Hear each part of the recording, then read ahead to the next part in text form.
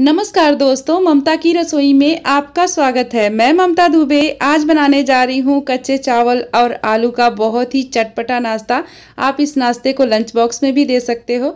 बनाना बहुत आसान है और खाने में बहुत ही स्वादिष्ट लगता है। तो फिर देर ना करते हुए फटाफट इस नाश्ते की रेसिपी को शुरू करते हैं। उससे पहले आपसे एक छोटी सी रिक्वेस्ट है कि आप मेरे चैनल पर न्यू हैं। तो प्लीज़ मेरे चैनल को सब्सक्राइब करें बेल आइकन ज़रूर प्रेस करें, ताकि जब भी हम कोई नए नाश्ते की रेसिपी अपलोड करें तो आप उसे सबसे पहले देख पाएँ। तो चलिए शुरू करते हैं।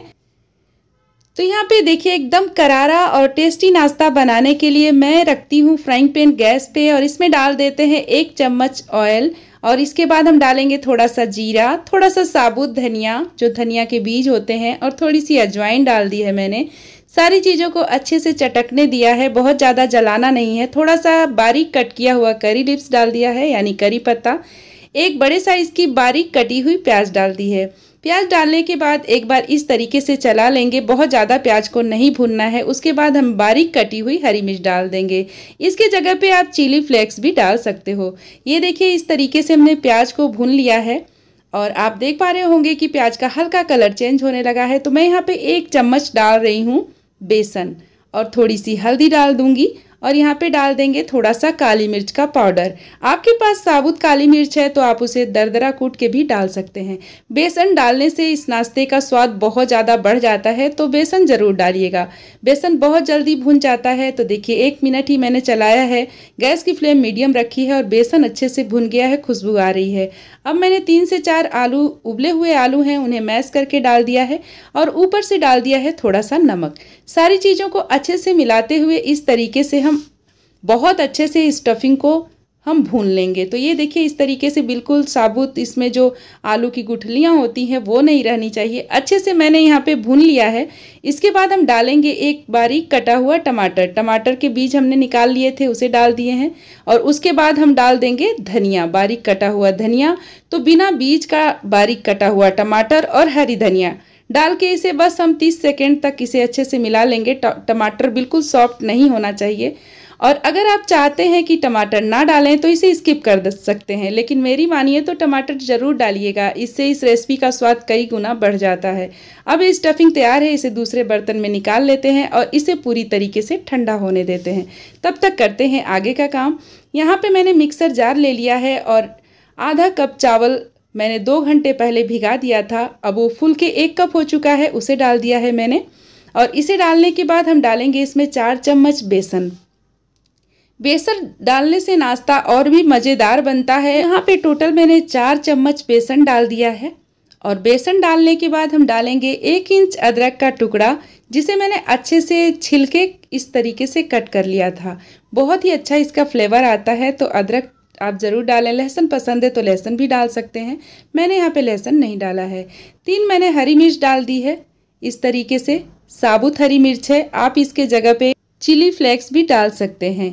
इसके बाद मैंने थोड़ा सा पानी डाला है, बहुत ज़्यादा पानी आपको नहीं डालना है, बस दो से तीन चम्मच पानी डाल के और ये देखिए, बिल्कुल महीन पेस्ट इसका बन के तैयार हो गया है, मैंने इसे पीस लिया है। आप देख पा रहे होंगे, जैसे फेटा हुआ दही होता है, उसी तरीके से बन गया है। थोड़ा सा पानी मैंने मिक्सर जार में डाल दिया था, लगभग दो चम्मच, और उसे फिर इस बैटर में डाल दिया है। तो ये देखिए, बैटर हमारा बहुत ही बढ़िया बन के तैयार हुआ है।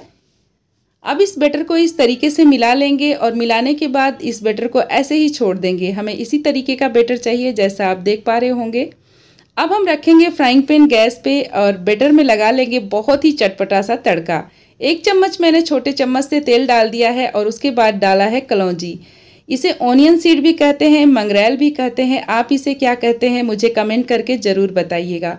तो इसको डालने से बहुत ही चटपटा स्वाद आता है और मैंने आधा चम्मच बारीक कटा हुआ करी पत्ता डाल दिया है और एक चम्मच बारीक कटी हुई हरी मिर्च डाली है। सारी चीज़ों को डालने के बाद हम थोड़ा सा चटकने देंगे और उसके बाद डाल देंगे एक बड़े साइज़ का बारीक कटा हुआ प्याज। और अब हम क्या करेंगे, इसे अच्छे से इस तरीके से चलाते हुए भून लेंगे प्याज को बहुत ज़्यादा नहीं भूनना है कलर चेंज होने तक नहीं भूनना है, बस हल्का सा इसे भून लेना है। तो आप देखिए, इस तरीके से चलाते हुए मैं भून ले रही हूँ। इस तड़के का बहुत ही बढ़िया टेस्ट आता है इस रेसिपी में तो आप इस तड़के को बिल्कुल स्किप मत करिएगा। तो यहाँ पे हमारा तड़का तैयार है, गैस की फ्लेम को बंद कर लेंगे और इस तड़के को मिला लेंगे अपने बैटर में। तो यहाँ पे देखिए, मैं डाल दे रही हूँ बैटर में इस तरीके से। और इसे आप चाहें तो गर्मा गर्म भी डाल सकते हैं या फिर थोड़ा ठंडा करके डालें। आप जैसे चाहें, अगर टाइम नहीं है तो गर्म भी डाल सकते हैं। इसके बाद मैंने अभी तक नमक नहीं डाला था तो इसमें डाल दिया है टेस्ट के अकॉर्डिंग नमक और इसे हम अच्छे से मिला लेंगे। तो यहाँ पे बहुत अच्छे से मैं इस तरीके से मिला लेती हूँ। और यहाँ पे अगर आपका बेटर थोड़ा गाढ़ा लगता है तो आप थोड़ा सा पानी भी डाल सकते हैं। पर ये जो बेटर है, बिल्कुल परफेक्ट है तो मैं पानी नहीं डालूँगी। अब मैंने छोटा सा एक फ्राइंग पैन गैस पे रखा है और उसमें हाफ़ टी स्पून ऑयल डाला है। ऑयल को चारों तरफ़ इस तरीके से घुमा लेंगे और इसके बाद हम डाल देंगे बेटर तो ये देखिए, लगभग डेढ़ करछी मैंने बेटर डाल दिया है और इसे फैला लिया है। इसे डालने के बाद अब हम क्या करेंगे, इसे थोड़ी देर तक ढक देंगे ताकि ये जो ऊपर का हिस्सा है, ये बहुत अच्छे से पक जाए। तो ये देखिए, ऊपर से ये जो बेटर का ऊपरी भाग है, हमारे नाश्ते का वो सूख चुका है। तो उस पर हम लगा देते हैं टोमेटो केचप बच्चों को बहुत पसंद आता है। आप किसी रेसिपी में टोमेटो केचप लगाते हैं तो आप इसे ज़रूर लगाएँ। इसके जगह पे आप पिज़्ज़ा सॉस भी लगा सकते हैं। इसके बाद जो हमने आलू की स्टफिंग तैयार की थी, उसे रखेंगे। हाथों से रख सकते हैं। अगर आपके हाथ जल रहे हैं या फिर नहीं रख पा रहे हैं तो आप इस तरीके से भी दबा के इसको फैला सकते हैं। अच्छे से स्टफिंग को चारों तरफ़ फैला देंगे और फैलाने के बाद गैस की फ्लेम को हमें मीडियम पे ही रखना है ताकि हमारा नाश्ता जले ना और इस तरीके से इसे फोल्ड कर देंगे। दोनों साइडों से इसके बाद भी अलट पलट के सेक लेंगे। बहुत ही सिंपल सा नाश्ता है, घर के इंग्रेडिएंट से बन के तैयार हो जाता है और खाने में बहुत ही स्वादिष्ट लगता है। तो आप इस रेसिपी को क्या नाम देंगे मुझे कमेंट करके ज़रूर बताइएगा। और इस रेसिपी को ज़रूर ट्राई करिएगा। आप सबको बहुत पसंद आएगी। ऊपर से बहुत ही ज़्यादा क्रिस्पी है, अंदर से चटपटा और सॉफ्ट है। मेरी ये रेसिपी आपको पसंद आई हो तो प्लीज़ मेरी वीडियो को लाइक कीजिएगा, शेयर कीजिएगा और चैनल को सब्सक्राइब कीजिएगा। बेलाइकन ज़रूर प्रेस करिएगा। Bye bye.